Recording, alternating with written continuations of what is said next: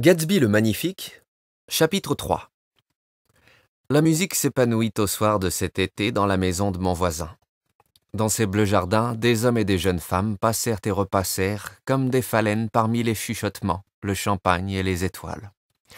L'après-midi, à marée haute, je regardais ces invités plonger du haut de la charpente dressée sur son radeau, ou s'offrir au soleil sur le sable brûlant de la plage, tandis que ces deux canots automobiles fendaient l'eau du détroit, remorquant des aquaplanes sur des cataractes d'écume. En fin de semaine, sa Rolls se transformait en autobus, charriant les invités de la ville au château et vice-versa, de 9 heures du matin jusqu'à minuit passé, cependant que sa camionnette Ford s'affairait, tel un hanneton jaune, pour être à la gare à l'arrivée de tous les trains et les lundis, dix domestiques, y compris un jardinier surnuméraire, travaillaient toute la journée, armés de lavettes, de brosses, de marteaux et de sécateurs, à réparer les ravages de la nuit précédente. Tous les vendredis, cinq grandes caisses d'oranges et de citrons arrivaient de chez un fruitier de New York. Tous les lundis, les mêmes oranges et les mêmes citrons sortaient par la porte de service en une pyramide de moitié vidée de leur pulpe. Dans la cuisine, il y avait un appareil capable d'extraire le jus de 200 oranges en une demi-heure, mais il fallait qu'un valet appuyât 200 fois de suite sur un petit bouton avec le pouce. Une fois au moins par quinzaine, un détachement de décorateurs arrivait avec plusieurs centaines de mètres de toile et une quantité de lumière de couleur suffisante pour transformer le parc de Gatsby en un gigantesque arbre de Noël. Sur des tables, garnies de hors-d'œuvre luisants, s'entassaient des jambons épicés et cuits au four, parmi des salades multicolores comme des manteaux d'arlequin, des pâtés de porc et des dindes qu'un sortilège avait teinté de brun doré. Dans la galerie principale, on installait un bar muni de son appui-pied en cuivre et garni de gin, de liqueurs et de cordiaux depuis si longtemps oubliés que la plupart des invités étaient trop jeunes pour les distinguer les uns des autres. Vers cette heure arrive l'orchestre, non pas un petit orchestre de cinq exécutants, mais une pleine fosse de hautbois, trombones et saxophones, de viols, de clarinettes et de piccolos, de tambours alto et de bassos. Les derniers nageurs sont rentrés de la plage et s'habillent dans les chambres. Les autos de New York sont garés, cinq de front dans l'allée, et déjà les galeries, les salons et les vérandas s'égaient de couleurs, de cheveux coupés suivant d'étranges modes, et de châles qui éclipsent tous les rêves de Castille. Le bar fonctionne à plein rendement et les cocktails flottent sur des plateaux dans le parc qu'ils imprègnent de leur parfum, si bien que bientôt l'air se met à vibrer de bavardages et de rires, d'insinuations nonchalantes, de présentations sitôt oubliées que faites et d'enthousiastes rencontres entre femmes qui n'ont jamais connu leur nom respectif. Les lumières s'avivent à mesure que la terre accomplit l'embardée qui la détourne du soleil. À présent, l'orchestre joue une musique jaune cocktail et le chœur des voix monte d'un ton. De minute en minute, le rire devient plus facile, s'épanche avec plus de prodigalité, s'écoule comme d'une coupe qu'un mot joyeux suffirait à renverser. Les groupes changent plus rapidement, s'enflent de nouveaux arrivés, se dissolvent et se reforment, le temps de prendre haleine, Déjà, on voit des vagabondes, filles confiantes qui font la navette ici et là, parmi leurs sœurs plus corpulentes et plus stables, deviennent pendant un instant vibrants et gais le centre d'un groupe.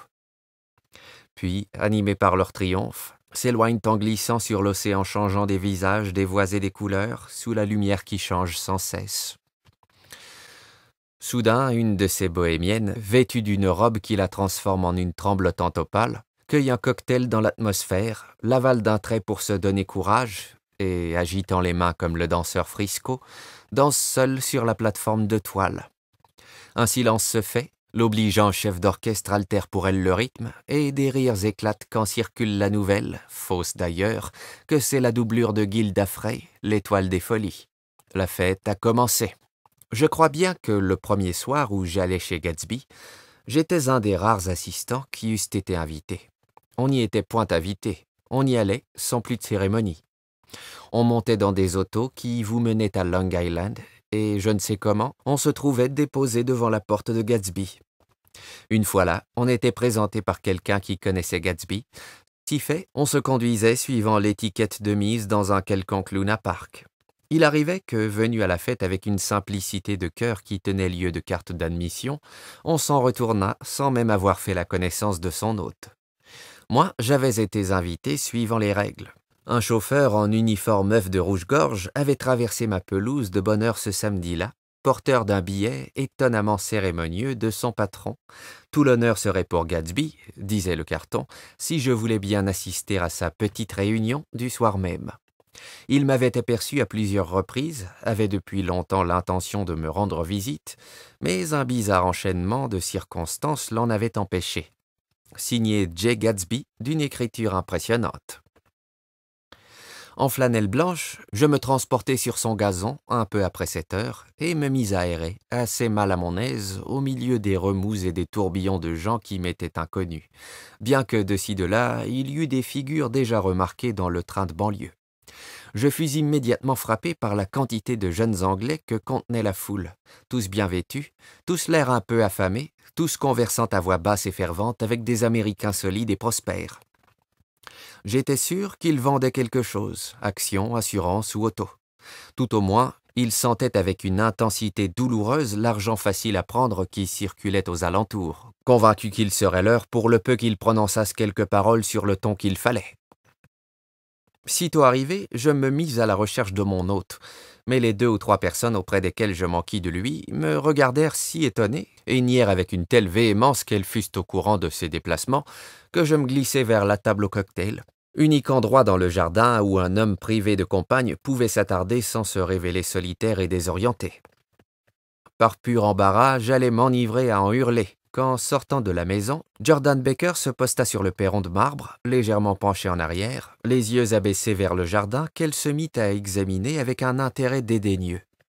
Que je fusse ou non le bienvenu, je jugeais nécessaire de m'attacher à quelqu'un avant de me laisser aller à adresser des paroles cordiales aux passants.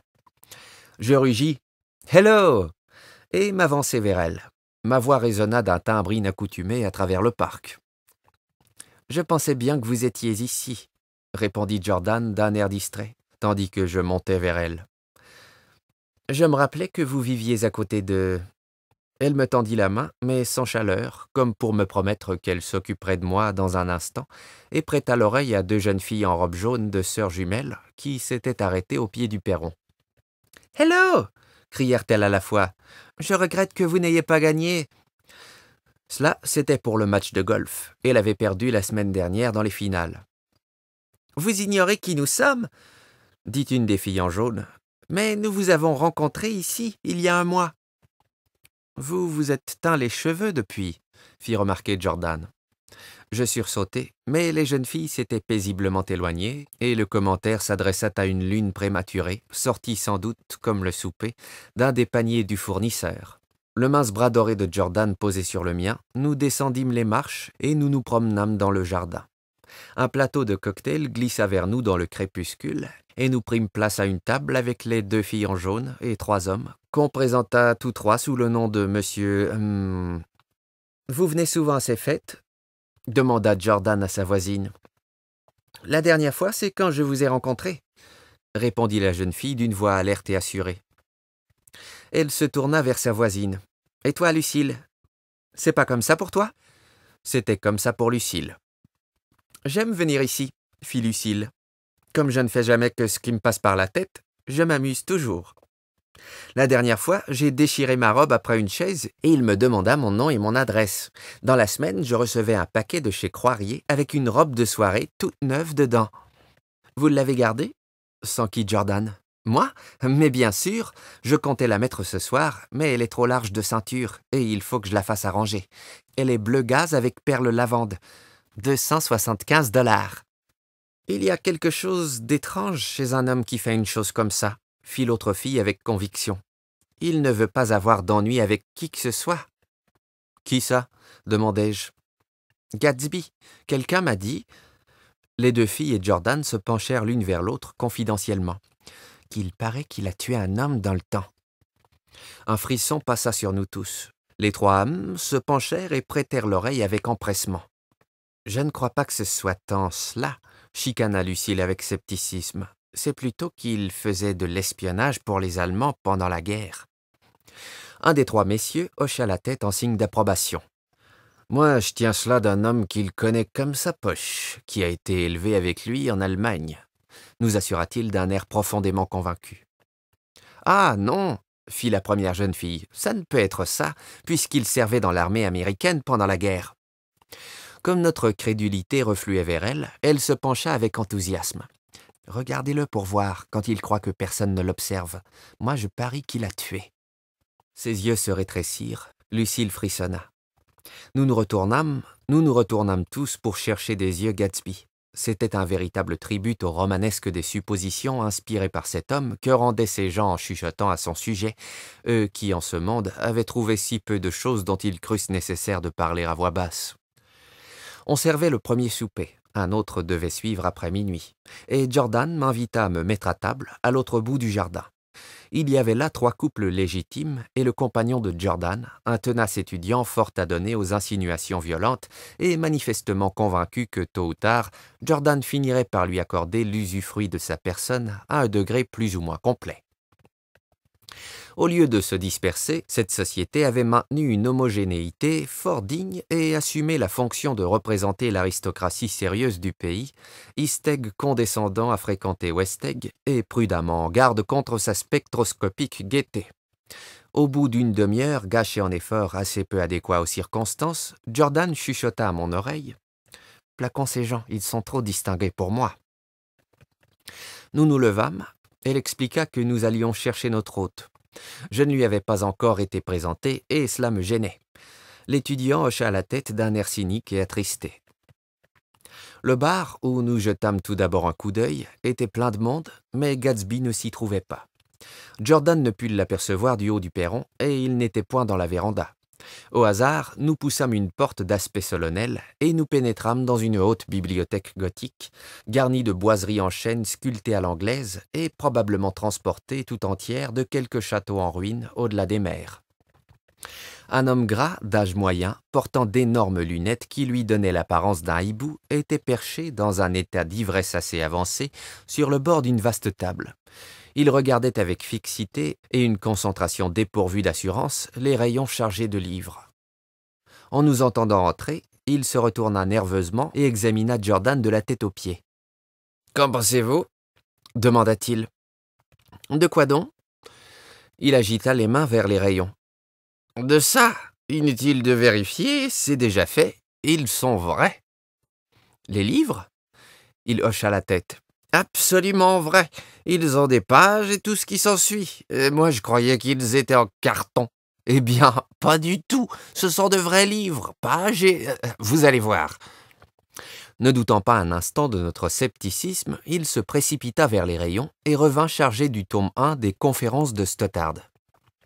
Vous voyez cria-t-il triomphalement. C'est pas du chiquet. J'ai été bien attrapé. Ce type est un metteur en scène de premier ordre.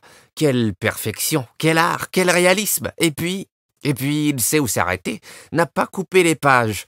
Mais que voulez-vous? À quoi pouvait-on s'attendre? Il m'arracha le livre et se hâta de le remettre sur son rayon, en marmottant que si on notait une seule brique, la bibliothèque était capable de s'écrouler. Qui vous a amené s'informa-t-il. Ou êtes-vous venu tout seul? Moi, on m'a amené. La plupart des gens qui sont ici, on les a amenés. Jordan le regarda, alerte, gai, sans répondre. J'ai été amené par une femme qui s'appelle Roosevelt, continua-t-il. Mrs. Claude Roosevelt. Vous connaissez? Je l'ai rencontrée la nuit dernière quelque part.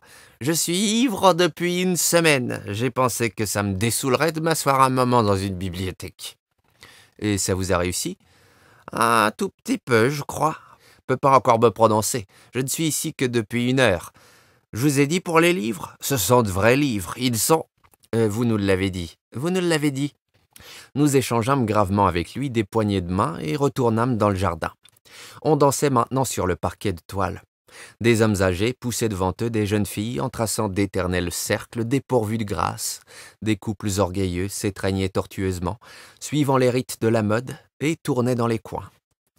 Beaucoup de filles dansaient seules, avec personnalité, ou soulageait quelques instants l'orchestre du labeur des banjos ou de la batterie. Vers minuit, l'hilarité avait grandi. Un ténor célèbre avait chanté en italien et un contralto notoire en jazz. Entre les numéros, des gens se livraient à des excentricités un peu partout dans le jardin, tandis que des rafales d'un rire niais et béat s'élevaient vers le ciel estival. Un couple de jumeaux de théâtre, qui n'étaient autres que les jeunes filles en jaune, jouèrent un sketch habillé en bébé. On servait le champagne dans des verres plus vastes que des rince-bouches. La lune était plus haute, et flottant dans le détroit, il y avait un triangle d'écailles d'argent qui tremblait un peu au sec friseli en fer blanc des banjos installés sur la pelouse. J'étais toujours avec Jordan Baker. Nous étions assis à une table avec un homme à peu près de mon âge et une petite fille mal élevée qui, sur la moindre provocation, s'abandonnait à un rire irrépressible. Je m'amusais à présent. J'avais bu deux rince-bouches de champagne, et la scène s'était muée sous mes yeux en quelque chose de significatif, d'élémentaire et de profond. Pendant une accalmie des réjouissances, l'homme me fit un sourire. Votre visage m'est familier, dit-il avec politesse. Ne faisiez-vous pas partie de la troisième division pendant la guerre? Mais oui, j'appartenais au 9e bataillon de mitrailleurs. Ah, moi, je suis resté au 7e d'infanterie jusqu'à juin 1918. Je savais bien que je vous avais vu quelque part. Nous parlâmes un instant de certains villages gris et humides de France. Sans doute demeurait-il aux environs, car il me dit qu'il venait d'acheter un hydroplane et qu'il comptait l'essayer le lendemain matin. Voulez-vous venir avec moi, vieux frère? On ne s'éloignera pas du rivage, le long du détroit. À quelle heure? À l'heure qui vous conviendra. J'allais lui demander son nom quand Jordan se tourna vers moi en souriant. Vous vous amusez maintenant? s'enquit-elle. Oui, beaucoup mieux. Je me retournai vers mon nouvel ami. Voyez-vous, des fêtes comme celle-ci, je n'y suis pas habitué. Je n'ai même pas vu le maître d'océan. J'habite par là. J'agitai la main dans la direction de la haie invisible, et ce Gatsby m'a envoyé son chauffeur avec une invitation. Il me regarda un moment comme s'il ne comprenait pas. C'est moi, Gatsby, fit-il tout à coup. Quoi? m'écriai-je. Oh, euh, je vous demande pardon. Je croyais que vous saviez, vieux frère. J'ai bien peur de ne pas être un très bon maître de maison. Il sourit avec compréhension beaucoup mieux qu'avec compréhension. C'était un de ces rares sourires, doués de la faculté de rassurer, qu'on rencontre quand on a de la chance, quatre ou cinq fois dans sa vie. Il affrontait un instant, ou paraissait affronter, le monde extérieur dans son ensemble, pour se concentrer ensuite sur vous, avec un parti pris irrésistible en votre faveur. Il ne vous comprenait qu'autant que vous désiriez être compris. Il croyait en vous dans la mesure où vous auriez voulu croire en vous-même. Il vous persuadait qu'il avait exactement de vous l'impression que, en mettant tout au mieux, vous espériez produire. À ce moment précis, le sourire s'évanouit, et je n'eus plus devant moi qu'un jeune et élégant mauvais sujet, âgé de 31 ou 32 ans, dont le langage recherché frisait l'absurdité. Un peu avant qu'il se fût présenté, j'avais fortement eu l'impression qu'il cherchait ses mots avec soin. Au moment même où Gatsby s'identifiait, un valet de chambre accourait pour l'informer que Chicago le demandait au téléphone. Il s'excusa d'une légère inclination de tête qui s'adressa à chacun de nous tour à tour.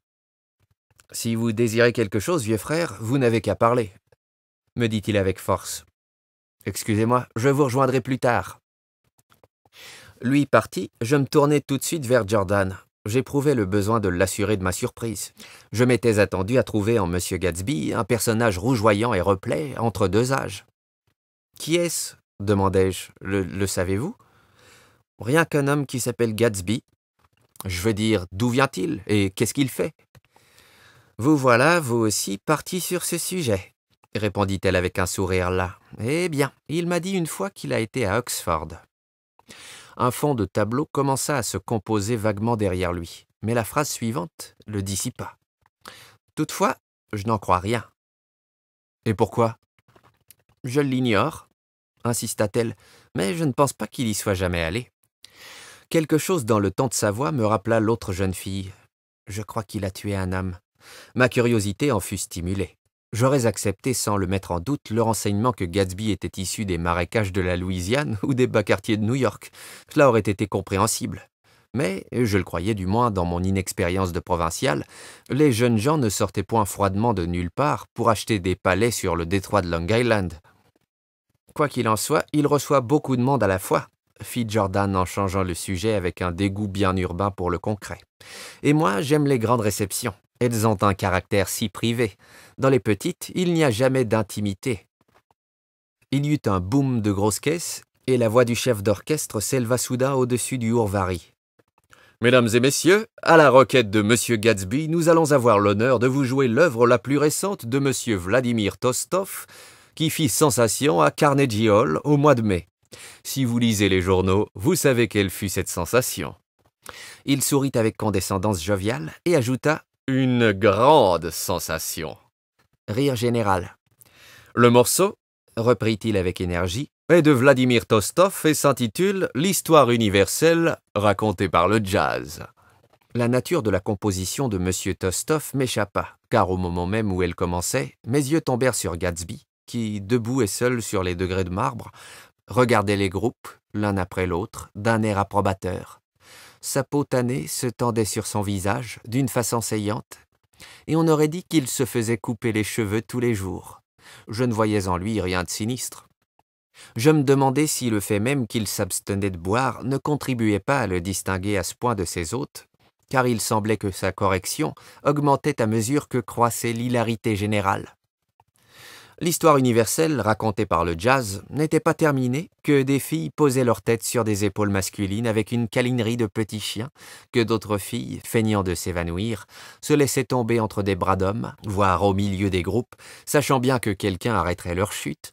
Mais personne ne s'évanouissait sur Gatsby, nulle tête tendue à la française ne touchait l'épaule de Gatsby, nul quatuor ne se formait dont l'un des chaînons fût la tête de Gatsby.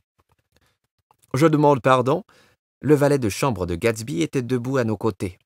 Miss Baker, s'enquit-il, je prie mademoiselle de m'excuser, mais monsieur Gatsby voudrait parler à mademoiselle en particulier. À moi? s'exclama-t-elle surprise. Oui, mademoiselle.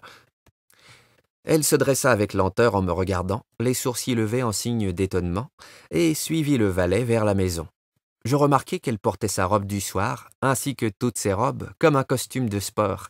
Il y avait une telle prestesse dans ses mouvements qu'on aurait juré qu'elle avait appris à marcher sur des terrains de golf par de purs et piquants matins. Je me retrouvai seul. Il était près de deux heures. Depuis quelque temps, des bruits confus et curieux sortaient d'une longue pièce percée de nombreuses fenêtres qui donnaient sur la terrasse. J'entrai, esquivant l'étudiant de Jordan qui discutait d'obstétrique avec deux chorus girls et me suppliait de me joindre à son groupe. Le grand salon était plein. Une des filles en jaune jouait du piano.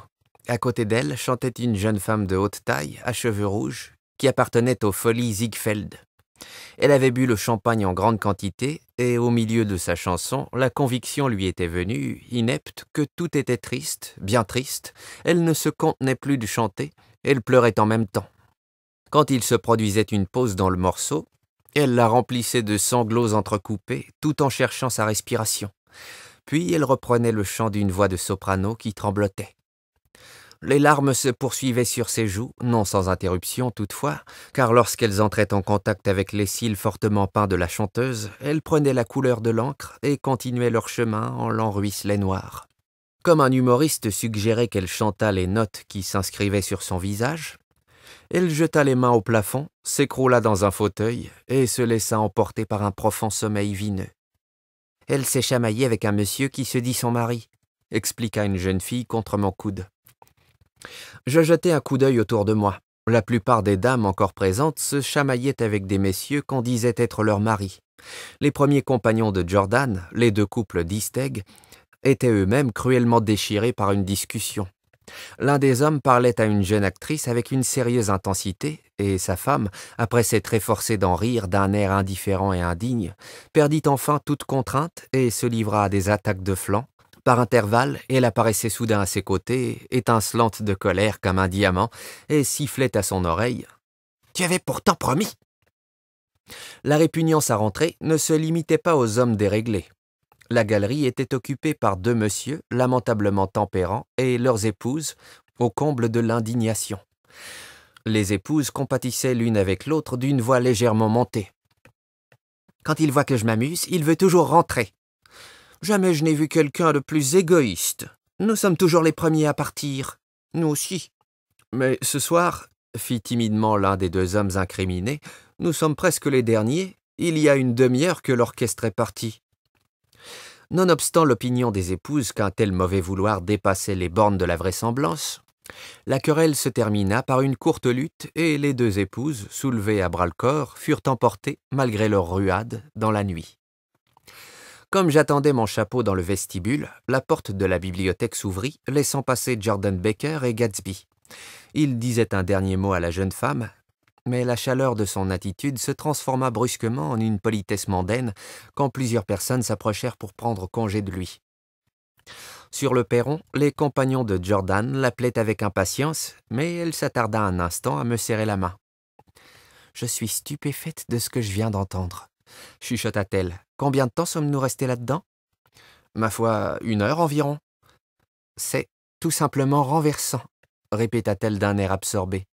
Mais j'ai juré de ne pas le répéter, et me voici en train de vous faire subir le supplice de Tantale. Elle me bailla gracieusement en pleine figure.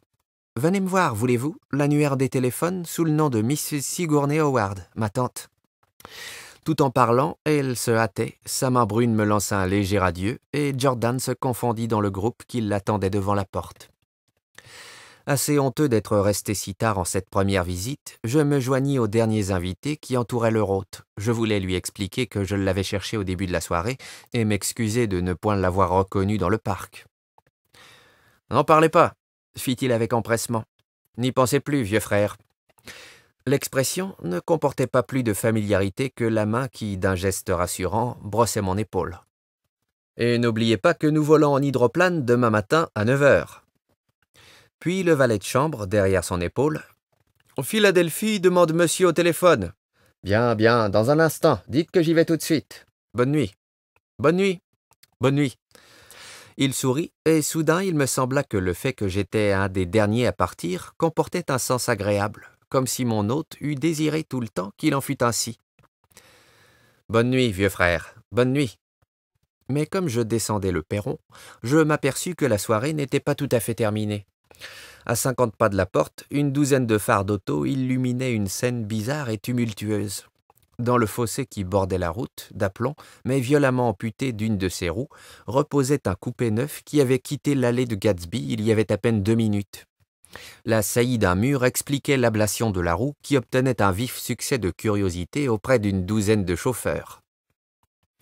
Cependant, comme ceux-ci avaient abandonné leur voiture au milieu de la route, un vacarme âpre et discordant causé par les trompes des autos que ce barrage empêchait d'avancer s'entendait depuis un certain temps, aggravant la confusion déjà violente de la scène. Un homme vêtu d'un ample cache-poussière était descendu de l'épave et se tenait au milieu du chemin. Ses yeux se portaient alternativement sur l'auto et sur la roue, sur la roue et sur les badauds, avec une expression d'aimable perplexité. Vous voyez? expliquait-il. Il est tombé dans le fossé. Le fait l'étonnait prodigieusement. Je reconnus en premier lieu la peu commune qualité de cet étonnement, puis l'homme. C'était celui-là même qui, pour se recueillir, avait choisi la bibliothèque de Gatsby.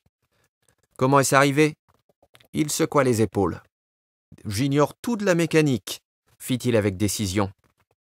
Mais comment l'accident s'est-il produit? Vous êtes entré dans le mur? Ne me le demandez pas, dit œil de hibou, se lavant les mains de l'affaire. Je ne sais même pas conduire. Ou si peu. La chose est arrivée, voilà tout. Mais alors, si vous conduisez si mal que ça, il ne fallait pas essayer la nuit. Mais je n'ai même pas essayé, expliqua-t-il avec indignation. Je n'ai même pas essayé. Un silence se fit parmi les assistants impressionnés. Vous. vous voulez donc vous suicider? Vous avez de la veine que ce ne soit qu'une roue. Il sait à peine conduire et il n'essayait même pas. Vous ne comprenez pas, expliqua le criminel. Je ne conduisais pas, il y a un autre homme dans la voiture. La sensation qui suivit s'exprima par un Ah soutenu. Au même instant, la portière du coupé s'ouvrit avec lenteur. La foule, c'était à présent une foule, recula involontairement. Quand la portière fut grande ouverte, il se fit un silence de mort. Puis, par degrés successifs, une fraction après l'autre, un individu pâle et dégingandé mit pied à terre, en tâtant soigneusement le sol avec un vaste escarpin dépourvu d'assurance. Aveuglé par l'éclat des phares, assourdi par l'incessant lamento des trompes, l'apparition resta là un moment, chancelante, avant d'apercevoir l'homme au cache-poussière. Qu'est-ce qu'il y a? demanda-t-elle avec calme. Panne d'essence Regardez donc une demi-douzaine de doigts pointaient vers la roue amputée. Lui la contempla un instant, puis leva les yeux comme si la pensée lui était venue qu'elle avait chu du ciel. Elle s'est détachée, commenta quelqu'un. Il hocha la tête. D'abord, je, m'étais pas aperçu qu'on ne roulait plus. Un silence. Puis, ayant pris longuement haleine et redressé les épaules, il dit d'une voix assurée Quelqu'un peut me dire où je peux trouver de l'essence? Une douzaine d'hommes au moins, dont plusieurs en meilleur état que lui, entreprirent de lui démontrer que la roue et l'auto n'étaient plus réunis par le moindre lien physique. Faites-la reculer, suggéra-t-il au bout d'un instant. Mettez-la en marche arrière. Mais la roue est partie. Il hésita. Bien pas de mal à essayer, fit-il.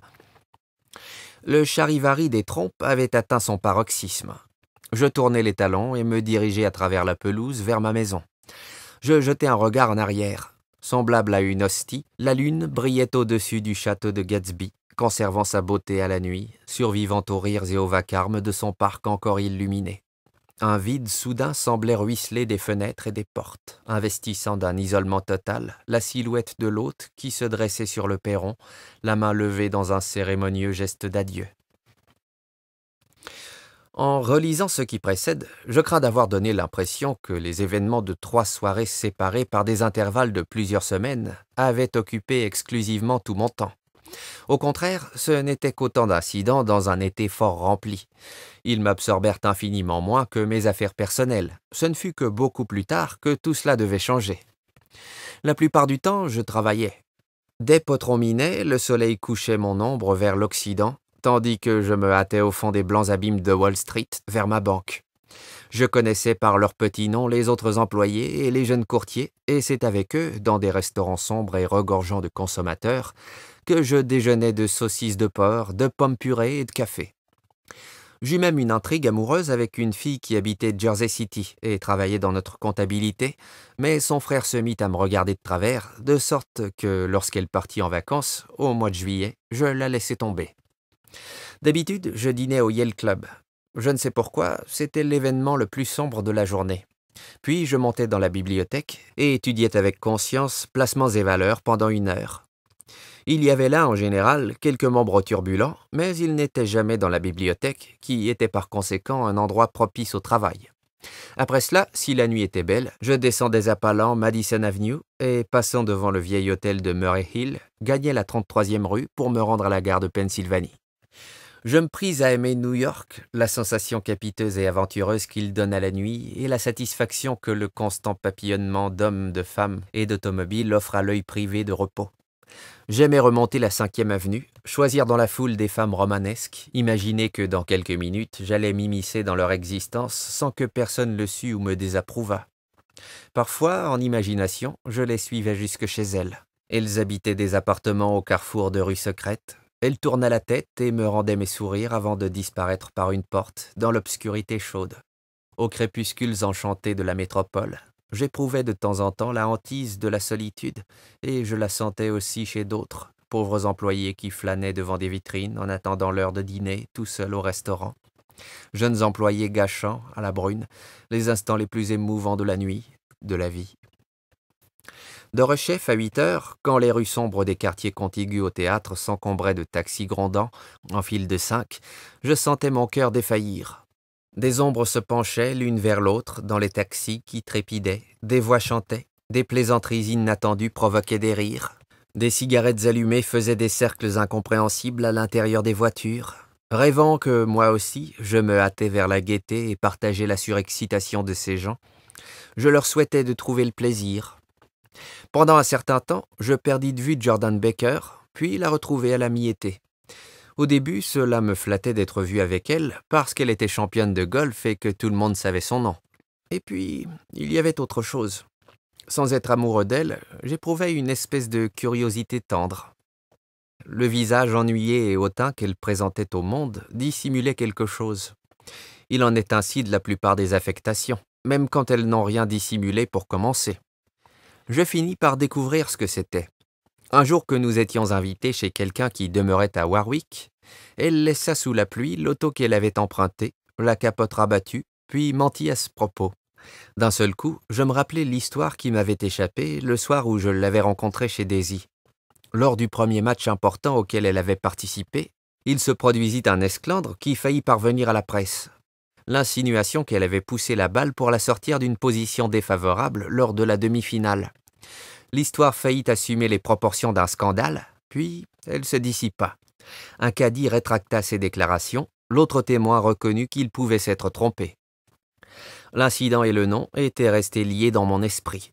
Instinctivement, Jordan Baker évitait les hommes avisés et perspicaces.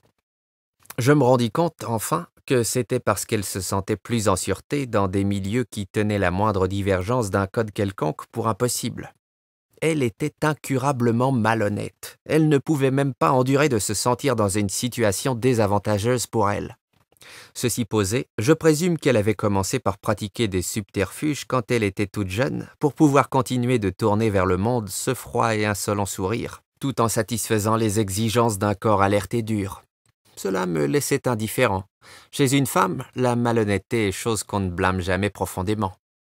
Chez celle-ci, je la regrettais en passant, puis l'oubliais. Ce fut lors de la visite dont je viens de parler que nous eûmes ensemble une curieuse conversation. Il s'agissait de la façon de conduire une auto. Elle avait commencé parce que nous étions passés si près de quelques manœuvres que l'aile avait touché un bouton sur la veste d'un de ces hommes. Je protestai. Vous conduisez comme un sabot. Vous devriez montrer plus de prudence ou ne pas vous mêler de conduire. Je suis prudente. Ce n'est pas vrai. Eh bien, les autres le sont, fit-elle d'un air léger. Qu'est-ce que cela a à voir? Ils se gareront devant moi, insista la jeune femme. Il faut être deux pour causer un accident. Mais si vous rencontrez un jour quelqu'un d'aussi imprudent que vous, j'espère que cela n'arrivera jamais. Je déteste les imprudents. Voilà pourquoi vous me plaisez tant. Ses yeux gris, fatigués par le soleil, regardaient droit devant elle, mais de propos délibérés, elle venait d'altérer le sens de nos relations, et pour l'instant, je crus que je l'aimais.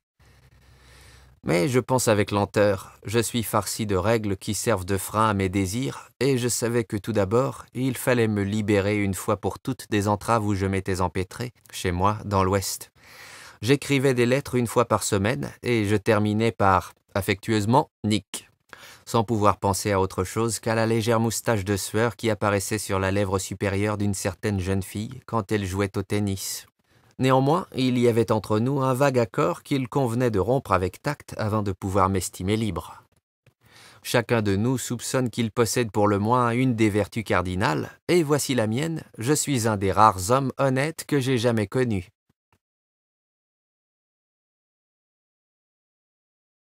Chapitre 4 Le dimanche matin, tandis que sonnaient les cloches dans les villages de la côte, chacun avec sa maîtresse, revenait chez Gatsby et scintillait avec hilarité sur la pelouse. C'est un bootlegger, disaient les jeunes femmes tout en se pavanant parmi ses cocktails et ses fleurs. Il a tué un homme qui avait découvert qu'il est le neveu d'Hindenburg et le cousin du diable. Attrape-moi donc une rose, ma jolie, et verse une dernière goutte dans cette coupe de cristal. J'inscrivis un jour sur les pages blanches d'un horaire les noms des gens qui fréquentèrent cet été-là chez Gatsby. Aujourd'hui, l'indicateur est périmé, coupé dans les plis et marqué Service modifié au 5 juillet 1922. Mais je puis encore déchiffrer les noms devenus gris. Mieux que mes généralisations, ils vous donneront une idée des gens qui acceptaient l'hospitalité de Gatsby en lui payant le subtil tribut de ne rien connaître à son sujet. D'Isteg, donc, venaient les Chester Baker, et les Leach, et un homme du nom de Bunsen que j'avais connu à Yale, et le docteur Webster Sivet qui se noya l'été dernier dans le Maine. Et les Hornbeam et les Willy Voltaire, et tout un clan nommé Black Buck qui se groupait toujours dans un coin et levait le nez, tel des chèvres, quand quelqu'un s'approchait. Et les Ismail et les Christie, ou plutôt Huberta Orbach et la femme de M. Christie, et Edgar Beaver, dont les cheveux, disait-on, étaient devenus blancs comme coton un après-midi d'hiver, sans motif valable. Clarence Endive était disteg, si j'ai bonne mémoire. Il ne vint qu'une fois en culotte blanche de golf et se battit dans le jardin avec un vaurien qui s'appelait Etty. De plus loin dans l'île venaient les Chiddle, les O.R.P. Schrader et les George Washington Cohen de Georgie, et les Fishguard et les Ripley Snell. Snell était là trois jours avant son incarcération, ivre sur le gravier de l'allée, au point que l'auto de Mrs. Ulysses Sweat lui passa sur la main droite. Les Deney venaient aussi, et S.B. Whitebait, qui avait largement passé la soixantaine, et Maurice A. Flink, et les Hammerhead et Beluga, l'importateur de tabac, et les petites amies de Beluga. De West Egg venaient les Paul et les Mulready, et Cecil Roebuck et Cecil Shawn, et Gullick le député, et Newton Orchid, qui contrôlaient les films par excellence, et Ecost et Clyde Abrams, et Donnes Schwartzifis, et Arthur McCarthy, tous s'occupant de cinéma d'une façon ou d'une autre et les Catlip et les Bemberg et G. Earl Muldoon, frère de ce Muldoon qui, plus tard, devait étrangler sa femme. Dafontaine, le lanceur d'affaires, fréquentait là, et Ed Legros et James B. Ferret, dit Torboyau, et les De Jong et Ernest Lilly, cela venait pour jouer, et quand Ferret rôdait dans le jardin, cela voulait dire qu'il était nettoyé et que les transports en commun subiraient le lendemain des fluctuations compensatrices. Un nommé Clip Springer s'y trouvait si souvent et si longtemps qu'on finit par le connaître sous le sobriquet du pensionnaire. Je doute fort qu'il eût un autre domicile.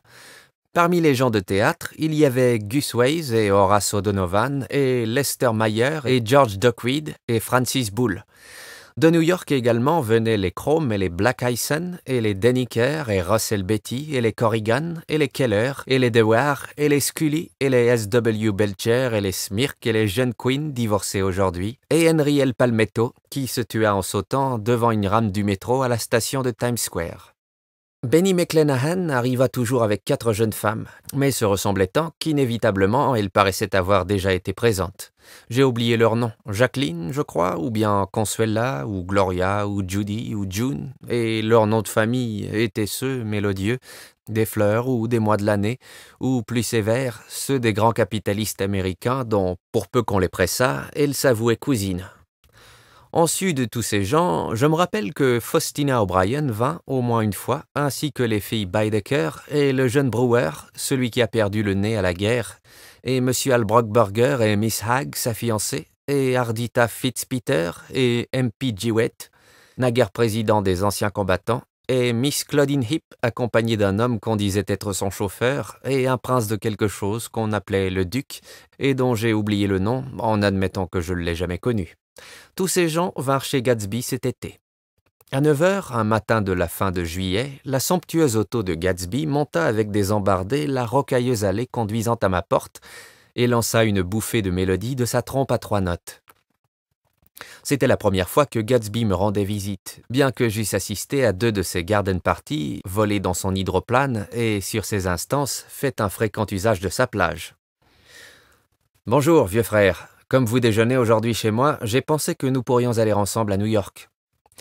Il se tenait en équilibre sur le marchepied de sa voiture, avec cette aisance de mouvement qui est si essentiellement américaine, qui vient, je le suppose du moins, de ceci que nous n'avons jamais eu à soulever des fardeaux dans notre jeunesse, et davantage encore de la grâce informe de nos jeux nerveux et sporadiques. Cette qualité perçait sans cesse à travers ses manières pointilleuses sous les espèces d'un état d'agitation constante, il ne restait jamais tout à fait tranquille, toujours il tapait du pied, ouvrait ou fermait la main avec impatience. Il s'aperçut que je contemplais sa voiture avec admiration. Elle est belle, hein, vieux frère Il sauta à terre pour me permettre de la voir mieux. Vous ne l'avez pas encore vue Je l'avais vue. Tout le monde l'avait vue. Elle était peinte d'une riche couleur crème, étincelante de nickel, triomphalement enflée ici et là dans sa monstrueuse longueur par des coffres à chapeau, des coffres à pique-nique, des coffres à outils, et couverte comme d'une terrasse par un labyrinthe de pare-brise où se reflétaient douze soleils. Ayant pris place derrière plusieurs épaisseurs de vitres dans une sorte de serre en cuir vert, nous partîmes pour la ville. J'avais causé avec lui une demi-douzaine de fois pendant le mois qui venait de s'écouler, et à mon vif désappointement, j'avais découvert qu'il n'avait pas grand-chose à dire. Ainsi, ma première impression qu'il était quelqu'un s'effaçant par degrés, mon voisin était simplement devenu pour moi le propriétaire d'une lumineuse hostellerie que j'aurais eue à ma porte. Puis vint cette déconcertante promenade. Nous n'avions pas atteint le village de Westeg que Gatsby s'était mis à laisser inachever ses élégantes phrases et à donner des claques d'indécision sur le genou de son complet caramel. Dis donc, vieux frère, fit-il avec une soudaineté qui me déconcerta. Qu'est-ce que vous pensez de moi, au fond? Un peu interloqué, j'entamai les généralisations ambiguës que mérite une pareille question. Il m'interrompit. Eh bien, je vais vous dire quelque chose de ma vie. Je ne veux pas que vous vous fassiez de moi une idée fausse d'après tous ces racontards que vous entendez. Il était donc au courant des bizarres médisances qui, dans ces salles, assaisonnaient la conversation. Je vais vous dire la vérité du bon Dieu, Sa main droite ordonna soudain à la justice divine de se tenir prête. Je suis né fils de gens riches du Middle West, tous morts à l'heure qu'il est. Élevé en Amérique, j'ai étudié à Oxford parce que tous mes ancêtres y avaient fait leurs études. C'est une tradition de famille. Il me lança un regard de côté, et je sus pourquoi Jordan Baker avait cru qu'il mentait. Il prononça très vite les mots J'ai étudié à Oxford, ou les avala, ou s'en étrangla, comme s'il l'avait déjà gêné auparavant. Et avec ce doute, sa déclaration tout entière se brisa en morceaux, et je me demandais s'il n'y avait pas après tout en lui quelque chose d'un peu sinistre. Quelle partie du Middle West demandai-je négligemment. San Francisco. Ah oui? Ma famille tout entière étant morte, j'ai hérité de beaucoup d'argent. Sa voix était grave, comme si le souvenir de l'extinction soudaine de tout un clan le hantait encore. Un instant, j'eus le soupçon qu'il se moquait de moi, mais un regard que je lui jetai me convainquit du contraire. Après, je vécus comme un jeune Raja dans toutes les capitales de l'Europe, Paris, Venise, Rome, collectionnant des pierres précieuses, en particulier les rubis, chassant le gros gibier, faisant un peu de peinture, des machines pour moi tout seul, tâchant d'oublier quelque chose de très triste qui m'est arrivé il y a longtemps. D'un effort, je parvins à étouffer un rire d'incrédulité. Les phares étaient si usagés qu'elles n'évoquaient en moi aucune image, hormis celle d'une marionnette livresque, perdant sa sciure par tous les ports en poursuivant un tigre dans le bois de Boulogne. Puis, vieux frère, la guerre arriva. Ce fut un grand soulagement pour moi. Je fis mon possible pour me faire tuer, mais je semblais posséder une vie enchantée. Quand ça commença, j'acceptai le grade de lieutenant. En Argonne, je conduisis si loin en avant des lignes les survivants de trois détachements de mitrailleurs qu'il y avait un trou d'une demi-mille de chaque côté où l'infanterie ne pouvait avancer. Nous restâmes là deux jours et deux nuits, 130 hommes avec 16 Lewis, et quand l'infanterie arriva enfin, on trouva les insignes de trois divisions allemandes parmi les monceaux de cadavres. Je fus promu major et décoré par tous les gouvernements alliés. Même le Monténégro, le petit Monténégro, là-bas au bord de l'Adriatique. Le petit Monténégro. Il souleva ces mots en hochant la tête par son sourire. Le sourire comprenait la trouble histoire du Monténégro et sympathisait avec les vaillantes luttes des Monténégrins. Il saisissait pleinement l'enchaînement de circonstances nationales qui avaient fait jaillir cet hommage du petit cœur si chaud du Monténégro. À présent, une fascination submergeait mon incrédulité. Ce récit, c'était comme si j'avais feuilleté à la hâte une douzaine de magazines. Il enfouit sa main dans sa poche et un morceau de métal accroché à un ruban tomba dans ma paume. Voilà celle du Monténégro. À ma grande surprise, l'insigne paraissait authentique. Orderi dit Danilo, disait l'inscription circulaire. Monténégro, Nicolas Rex. Retournez là. Je lus au major Jay Gatsby pour son extraordinaire bravoure. Et voici une chose que je porte toujours sur moi, un souvenir des temps d'Oxford. Ça a été pris dans Trinity Quad. Le type à ma droite est à présent vicomte de Doncaster. C'était la photographie d'une demi-douzaine de jeunes gens en blazer qui flânaient sous une arcade à travers laquelle on apercevait un fouillis de clocher. Gatsby était là, l'air un peu, pas beaucoup, plus jeune, une crosse à criquet à la main. Ainsi c'était vrai. Je vis les peaux de tigre rutilées dans son palais sur le Grand Canal. Je le vis en train d'ouvrir un coffre rempli de rubis pour apaiser, de leur profonde lueur cramoisie, les tortures de son cœur brisé. Je vais vous demander un grand service, fit-il en empochant ses souvenirs d'un air satisfait. Voilà pourquoi j'ai pensé qu'il convenait de vous donner quelques renseignements à mon sujet. Je ne voulais pas que vous crussiez que j'étais n'importe qui. Voyez-vous, je m'entoure en général d'étrangers parce que je vagabonde ici et là, m'efforçant d'oublier la triste chose qui m'est arrivée. Il ajouta après un moment d'hésitation Vous apprendrez cet après-midi ce que j'attends de vous. À déjeuner? Non, cet après-midi. Je sais que vous avez invité Miss Baker à goûter. Voudriez-vous dire que vous êtes amoureux de Miss Baker? Non, vieux frère, pas du tout. Mais Miss Baker a eu la bonté de consentir à vous parler de mon affaire. Je n'avais pas la moindre idée de ce que pouvait être son affaire. Chez moi, la contrariété fut plus vive que la curiosité. Je n'avais pas prié Jordan pour causer avec elle de M. J. Gatsby. J'étais sûr que sa requête serait quelque chose d'absolument effarant, et à un moment, je regrettais d'avoir jamais mis le pied sur sa pelouse surpeuplée. Il ne voulut pas ajouter un mot. Sa correction augmentait à mesure que nous nous rapprochions de la ville. Nous traversâmes Port Roosevelt, où nous eûmes la vision fugitive de transatlantiques ceinturés de rouge, et filâmes sur les pavés d'un quartier de misère bordé de buvettes aux ors passés, sombre mais non déserte, des années 1900. Puis la vallée de cendres s'ouvrit de part et d'autre, et j'aperçus au passage Mrs. Wilson, peinant d'une vigueur haletante à la pompe du garage.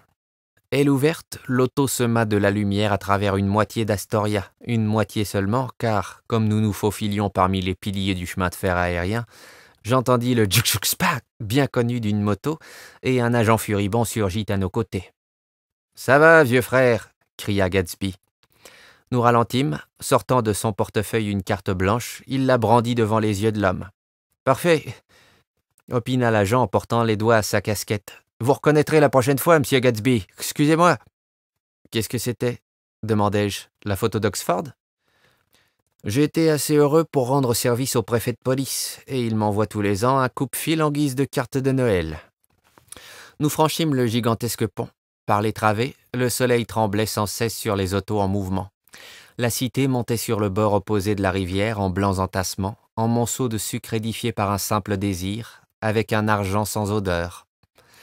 Vue du pont de Queensboro, la cité est toujours la cité telle qu'on la voit la première fois, dans la première promesse qu'elle nous fait follement de révéler tout le mystère, toute la beauté que le monde recèle. Un mort nous croisa dans un corbillard chargé d'un entassement de fleurs, suivi de deux voitures au store baissées et d'autres, moins funèbres, réservées aux amis.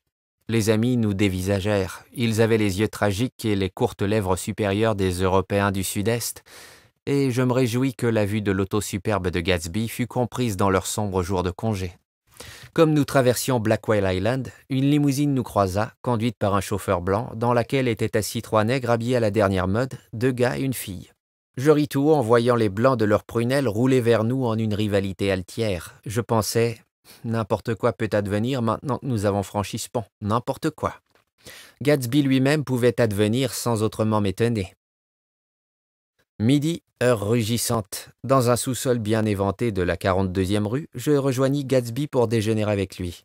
Me débarrassant en clignant les yeux de la vive lumière du dehors, je le découvris vaguement dans l'antichambre qui causait avec quelqu'un. Monsieur Caraway, je vous présente mon ami, Monsieur Wolfsheim. Un petit juif à nez plat leva sa grosse tête et braqua sur moi les longues touffes de poils qui prospéraient dans ses narines. Au bout d'un instant, je découvris ses yeux minuscules dans la demi-obscurité. Alors je lui jetai un coup d'œil, dit M. Wolfsheim en serrant ma main avec empressement. Et que pensez-vous que je fis Que fîtes-vous donc? demandai-je poliment. Mais évidemment, ce n'était pas à moi qu'il s'adressait, car il laissa retomber sa main et dirigea vers Gatsby son nez expressif. Je remis l'argent à Catspock et lui dis Ça va bien, Catspock. Ne lui payez pas un penny jusqu'à ce qu'il la ferme. Et il la ferma de suite. Gatsby nous prit chacun par un bras et nous poussa dans le restaurant. Monsieur Wolfsheim avala la phrase qu'il entamait et se laissa glisser dans une abstraction somnambulique. Des highballs? demanda le maître d'hôtel. C'est un chouette restaurant, fit Monsieur Wolfsheim en dévisageant les nymphes presbytériennes du plafond. Mais j'aime mieux celui d'en face. Oui, des highballs, approuva Gatsby. Puis à Monsieur Wolfsheim. Il fait trop chaud en face. Trop chaud, oui. Puis c'est tout petit, dit M. Wolfsheim, mais c'est plein de souvenirs. De quel restaurant s'agit-il? Du vieux métropole. Le vieux métropole, rumina M. Wolfsheim assombri. Hanté de visages morts et disparus, hanté d'amis disparus pour toujours. Aussi longtemps que je vivrai, je n'oublierai jamais la nuit où Rosie Rosenthal y fut tuée à coups de revolver. On était six à table et Rosie avait mangé et bu beaucoup toute la soirée. Quand il fit presque matin, le garçon s'approcha de lui avec un drôle d'air et lui dit que quelqu'un voulait lui causer dehors. Bon, fait Rosie, qui y va pour se lever, mais je le fais rasseoir. Que ces bâtards viennent ici s'ils veulent te causer, Rosie. Mais moi vivant, tu ne bougeras pas de cette pièce. Il était quatre heures du matin. Si on avait levé les stores, on aurait vu le jour. Et il y est allé? demandai-je innocemment. Pour sûr qu'il y est allé. Le nez de M. Wolfsheim me lança un éclair d'indignation. Il se retourne dans la porte et fait Empêcher le garçon d'emporter mon café. Là-dessus, il s'avance sur le trottoir, Ils lui tirèrent trois balles dans son ventre plein de boostify et s'enfuirent en auto. On en électrocute quatre, fis-je, me souvenant. Cinq si on compte Becker. Ses narines se tournèrent vers moi avec intérêt. Il paraît que vous cherchez une situation. La juxtaposition des deux phrases me démonta. Gatsby répondit pour moi. Oh non, ce n'est pas monsieur. Non? Monsieur Wolfsheim parut désappointé. Celui-ci n'est qu'un ami. Je vous avais dit qu'on parlerait de ça une autre fois. Je vous demande pardon, dit monsieur Wolfsheim. Je me trompais d'individu. Un hachis succulent arriva. Oubliant l'atmosphère plus sentimentale du vieux métropole, M. Wolfsheim se mit à manger avec une féroce délicatesse. En même temps, ses yeux faisaient très lentement le tour de la salle. Il compléta le cercle en se retournant pour inspecter les gens qui se trouvaient derrière son dos. N'eût été ma présence, je crois qu'il aurait jeté un coup d'œil sous la table. Écoutez, vieux frère, dit Gatsby en se penchant vers moi, je crains de vous avoir un peu fâché ce matin dans l'auto. De nouveau, son sourire, mais cette fois je résistais. Je n'aime pas les mystères, répondis-je, et je ne comprends pas pourquoi vous ne me dites pas franchement à quoi vous voulez en venir. Pourquoi faut-il que cela passe par l'intermédiaire de Miss Baker? Oh, il n'y a aucun mystère, m'assura-t-il. Miss Baker est une grande sportive, vous savez. Elle ne consentirait jamais à faire quoi que ce fût d'incorrect.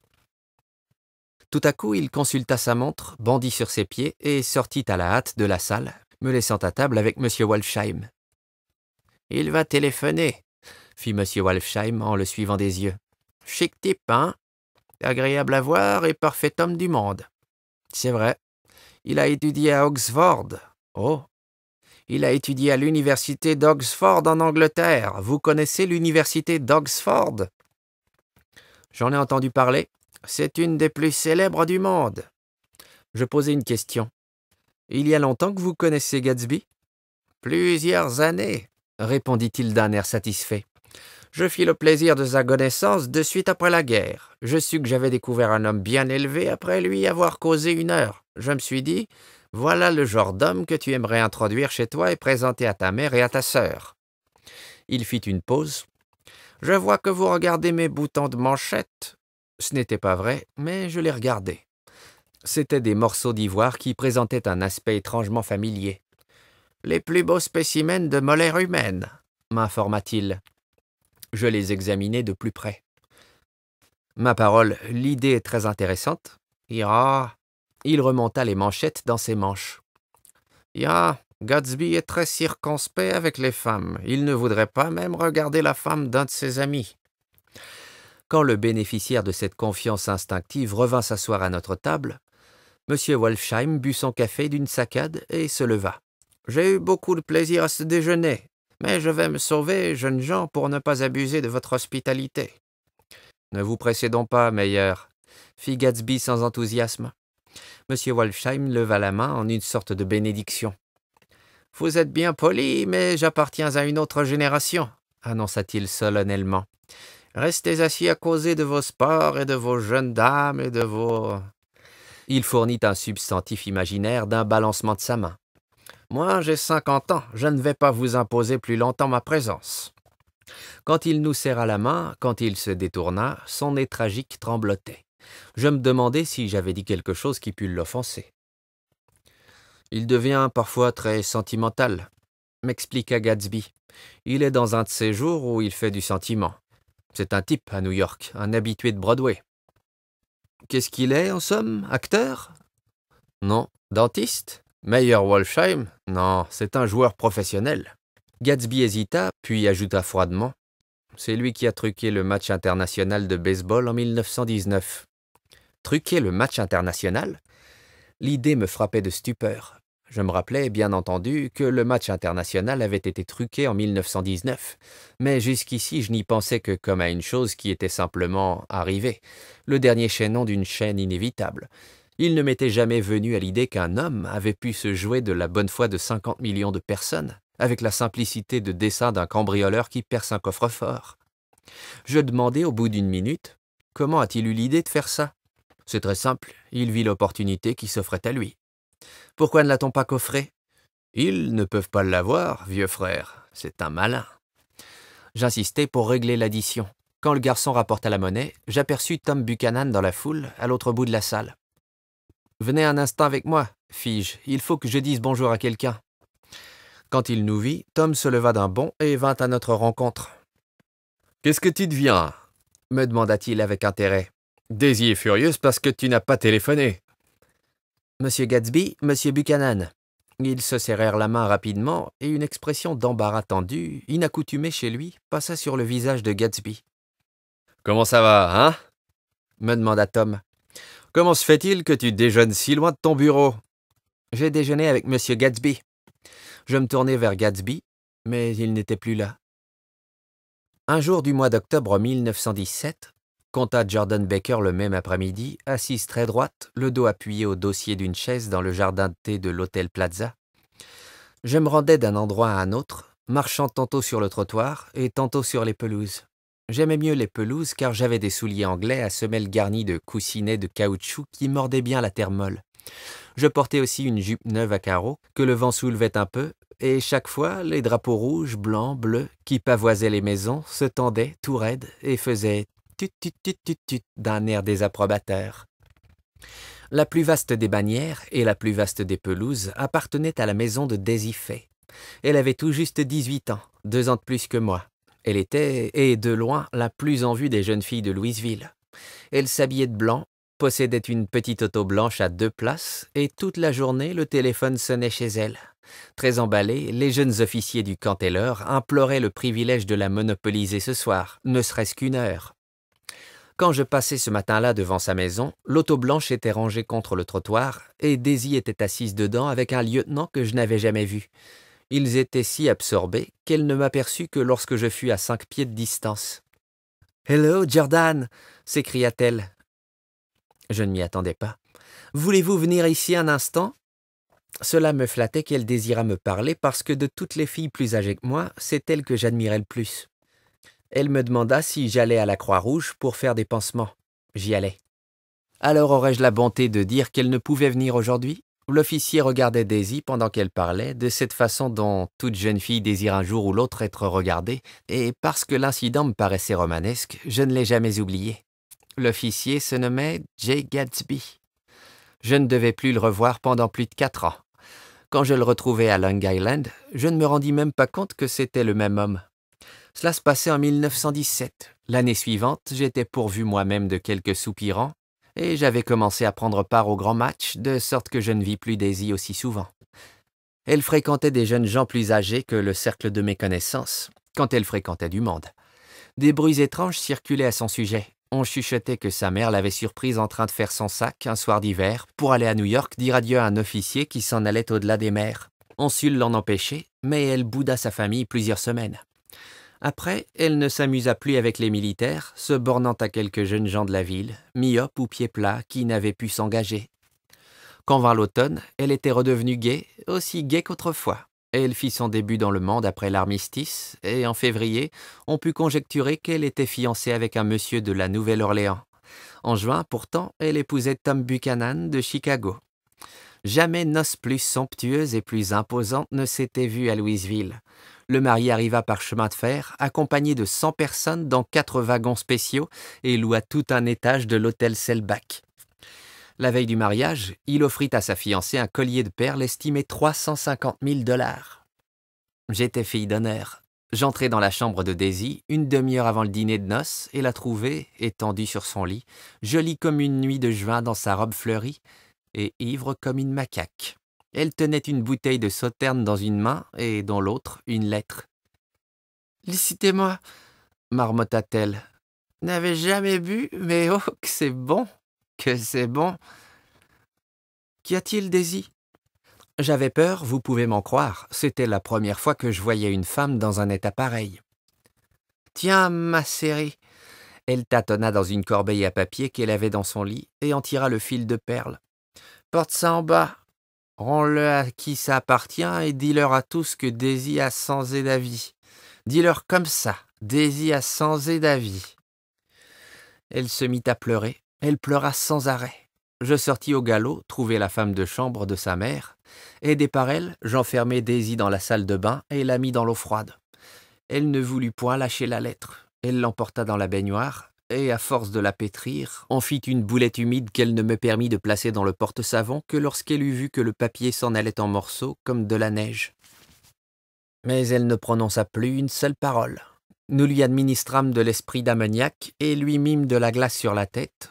On la ragrafa dans sa robe, et une demi-heure plus tard, quand nous sortîmes de la chambre, les perles s'enroulaient à son cou et l'incident était oublié. Le lendemain, à cinq heures, elle épousait Tom Buchanan sans un tressaillement et s'en allait avec lui pour trois mois dans les mers du Sud. Je les revis en Californie à leur retour. Jamais je n'avais vu une femme éprise à ce point de son mari. S'il sortait un instant de la chambre, elle jetait autour d'elle des regards inquiets. Où est Tom? Et conservait un air absent jusqu'à ce qu'il revînt. Elle avait pris l'habitude de rester des heures assise sur le sable, la tête de son mari sur les genoux, à lui passer les doigts sur les yeux, à le regarder avec un insondable ravissement. C'était touchant de les voir ensemble. Cela vous faisait rire, mais tout bas, comme sous l'effet d'un sortilège.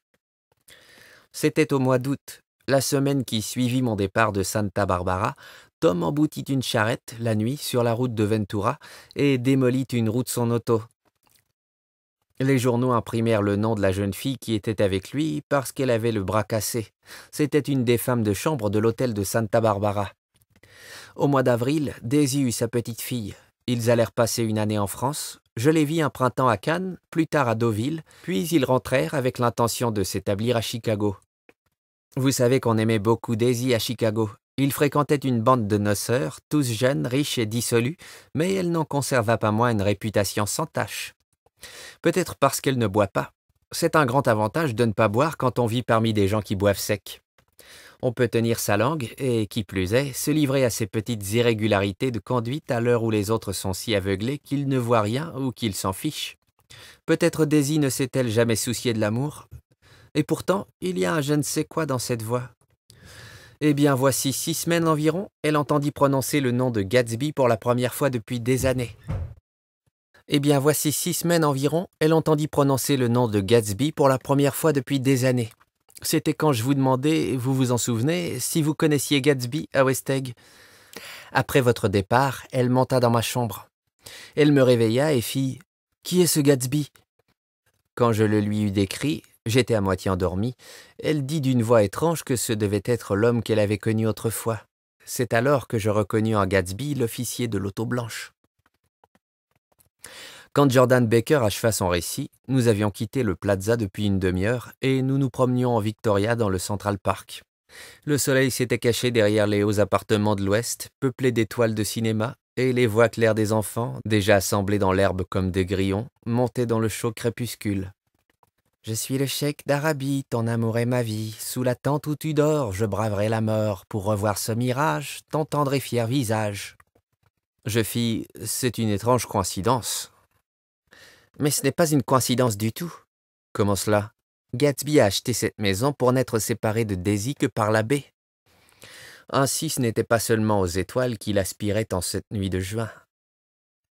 Il vint à moi vivant, libéré soudain de la matrice d'une splendeur sans objet. Il veut savoir, reprit Jordan, si vous voulez bien inviter Daisy à prendre le thé chez vous, un de ces après-midi, et permettre qu'il soit de la partie.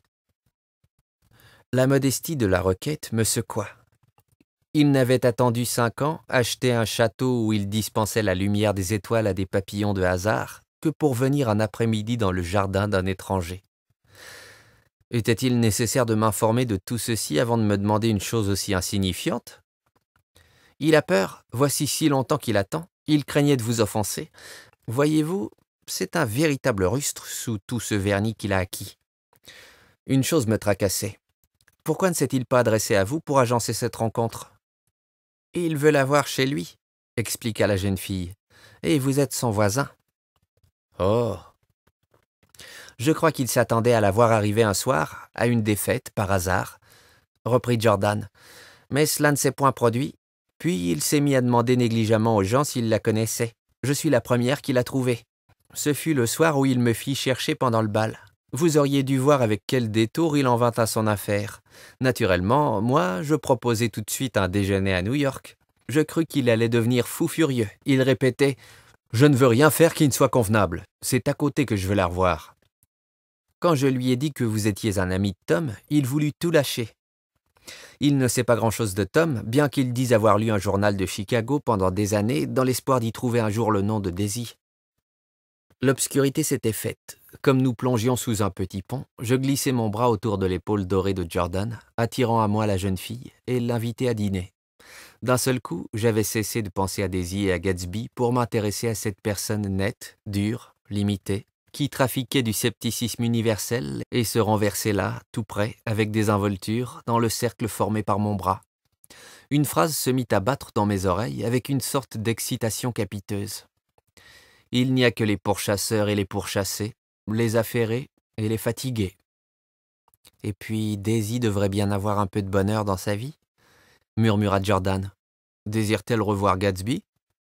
Elle ignore, Gatsby ne veut pas qu'elle sache. Vous êtes censé tout simplement inviter Daisy à goûter.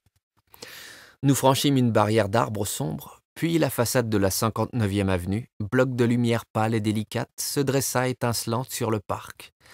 Différent de Gatsby et de Tom Buchanan, je n'avais point de femme dont le visage sans corps flottât au long des sombres corniches et des aveuglantes enseignes électriques. J'attirai donc la jeune fille que j'avais à côté de moi, en serrant le bras. Là, c'est dédaigneuse, sa bouche sourit. Je l'attirai plus près encore, et cette fois vers mon visage.